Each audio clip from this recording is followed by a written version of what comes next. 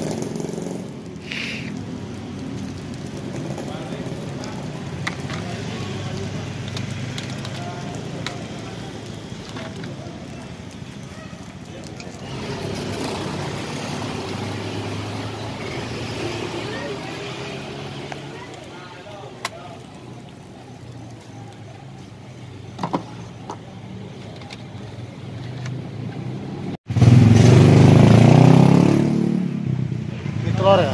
Iya.